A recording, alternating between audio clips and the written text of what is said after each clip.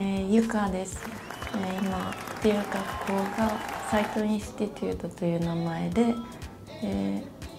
ー、 Civil Engineering Technical というコースを取っていてそれが dual diploma という2つの diploma を取るコースになってます。オ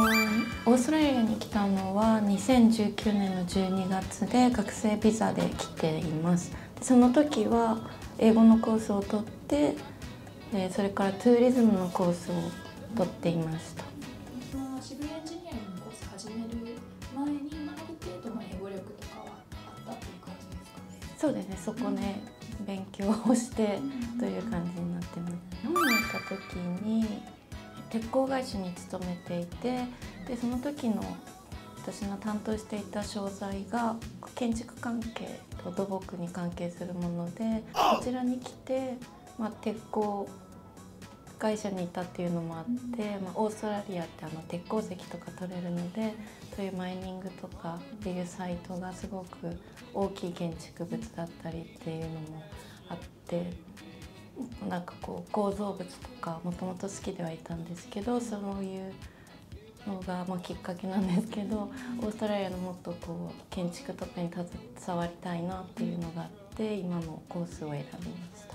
新設の時は、まあ、マンションディベロッパーって言ってあの土地を買収してそこから建ててお客様に売るっていう会社にでそこでもまあ建築とかその土地に関わるところの、まあ、事務をやってたんですけども何かを建てたりゼロのものから役にしてっていうのは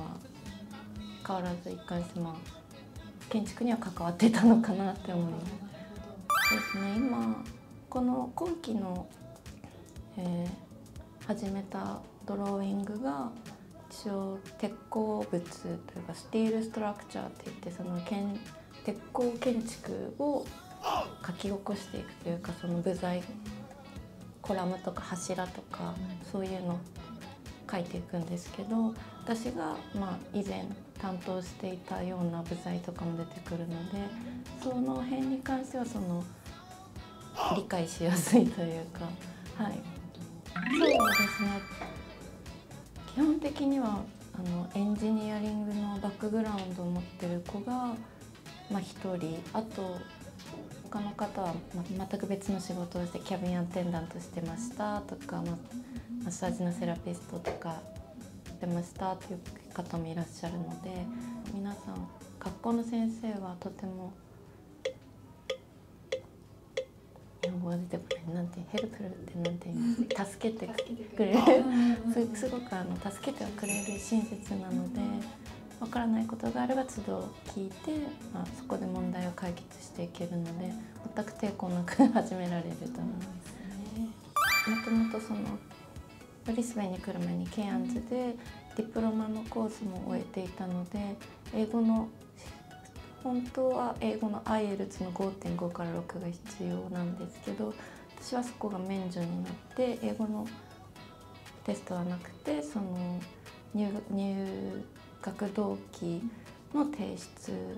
だけでした。特に難しさは感じなかったです。結構そのシブレンジニアムドラフトパーソン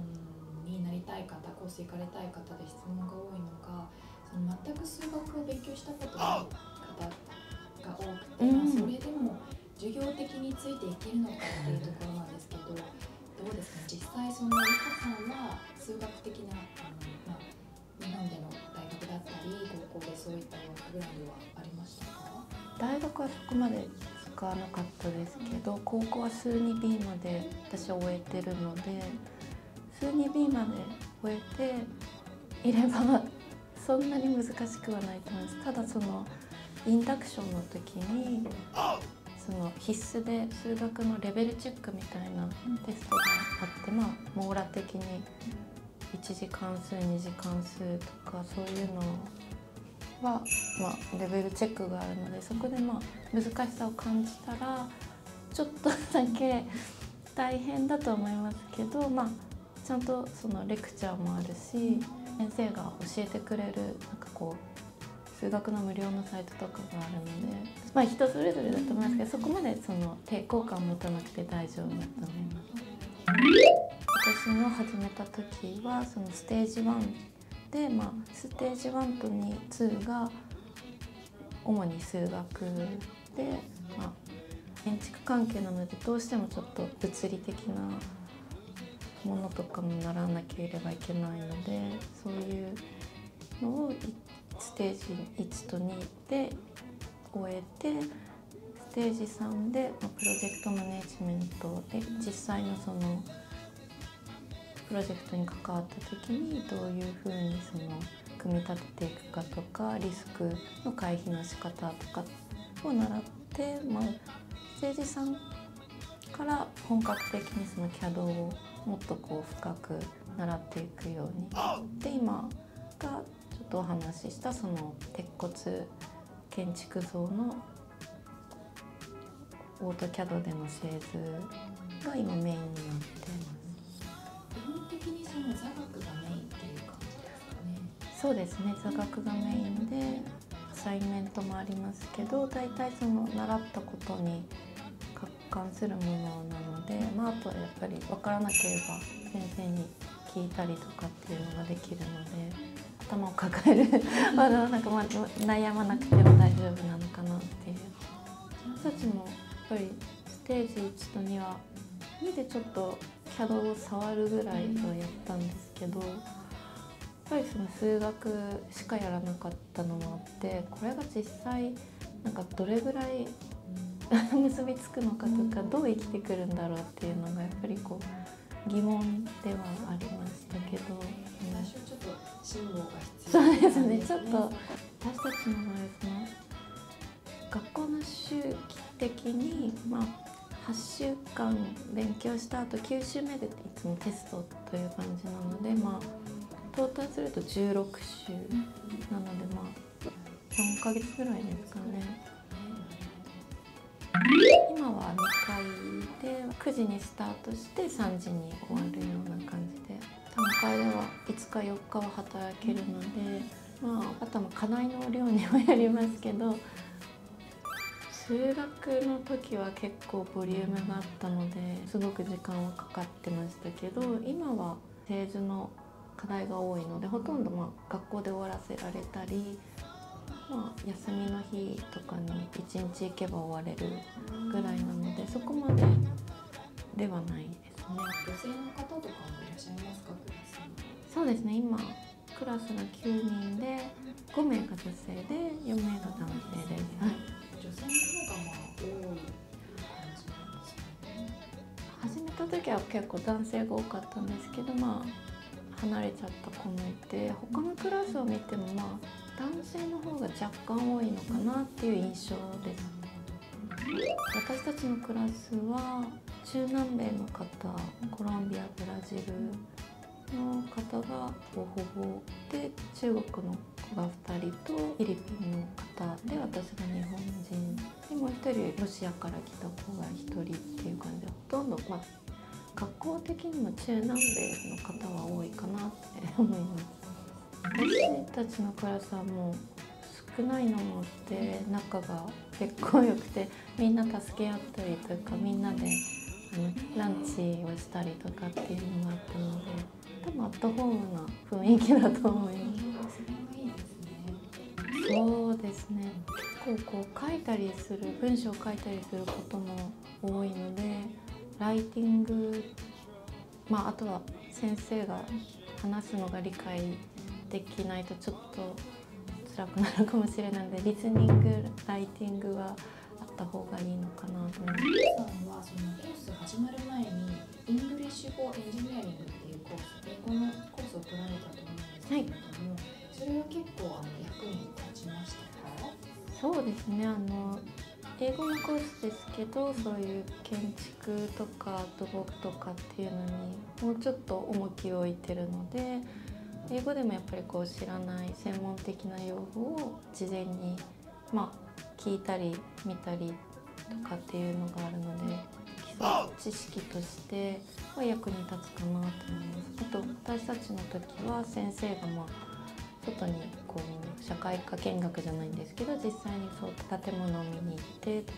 でプレゼンテーションしたりとかっていう授業もあったのでそういうプレゼンテーションの機会があったりっていうのはすごく良かったかなって思いますね。今のこのシビルエンジニアリングテクニカルのコースが終わると、まあ、サーティフィケートがもらえるのでそれでもって仕事探しが今からできるようになるので早めにこう経験を積む積みたいなと思っていて先生に聞いてもやっぱりオーストラリアは経験を重視されるのでインターンシップとかでもいいからまあ多く就業経験というかそういうものを得た方がいいっていうアドバイスがあったのでそうですね。これが終わって、まあ、来年からつけたらいいなということで。私のクラスに関して言うと誰もついてない状況で他のもうちょっとそのステージが上の方は何人かこう仕事をしてる方もいらっしゃるみたいです。リスベンが今建築ラッシュみたいな感じになってるのでまあ結構ドラフトパーソン探してる会社もいるみたいなので、はい、それってそのオリンピッオリンピックと多分あとは都市開発もあるんですかね。あの新しいカジノのあの辺りとか。このコースが終わって、まあ、早めに仕事に就ければそこからまあ経験を積んでで卒業後は卒業ビザというかそれにを申請してから、まあ、またそこからまあ1年ぐらい経験が必要なので。